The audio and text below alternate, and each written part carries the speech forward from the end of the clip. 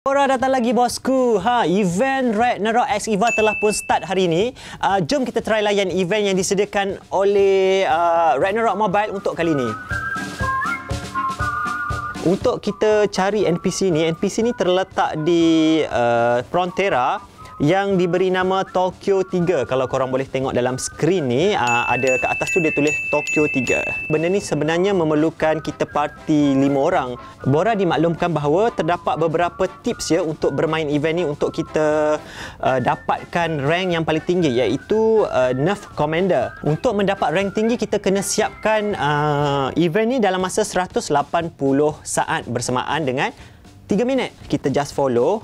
Tapi kena ingat satu benda ini nasihat daripada Bora dekat dalam ni ya. Jangan sesekali kita buat auto follow ataupun auto attack.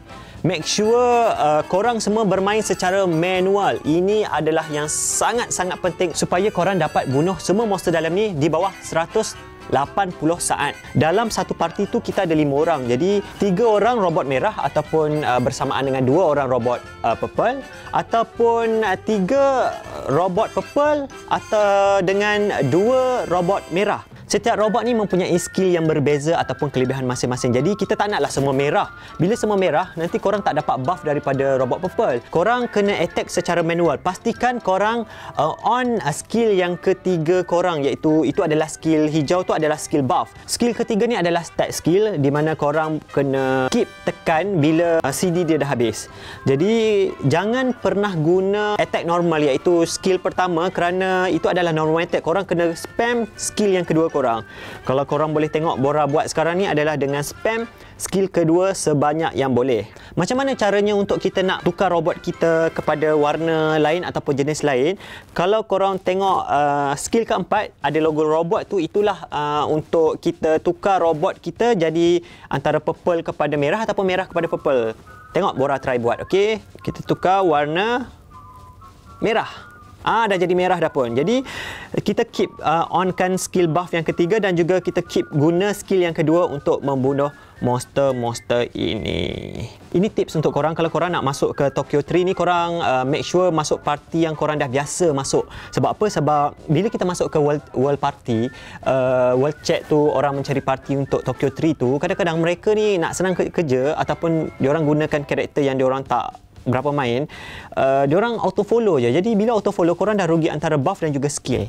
Uh, so dia kalau auto follow dia akan macam keep attack attack attack attack. Korang tak maksimumkan uh, skill-skill yang diberi. Jadi sekarang ni Bora dah hampir bunuh monster ketiga dan tada menang kita tengok apa yang Bora dapat. Kita kembali ke Frontera selepas tu dan terpergi balik ke NPC yang ke uh, yang tempat tadi iaitu NPC Tokyo 3 tu. Kalau perasan dekat bawah sekali Bora mendapat title Nerf Commander iaitu uh, clear time 180 second sahaja. Jadi uh, itu membuktikan bahawa tim Bora tadi uh, berjaya untuk membunuh uh, monster-monster tersebut di bawah masa yang diberikan iaitu 180 saat saja.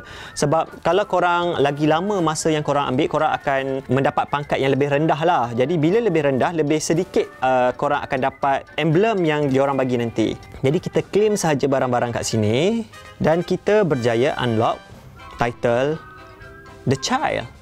Kita buka hadiah yang diberikan kepada kita dan kita akan dapat Nerf Emblem. Hmm, macam menarik ya Nerf Emblem. Jadi apa yang kita boleh buat dengan Nerf Emblem ni?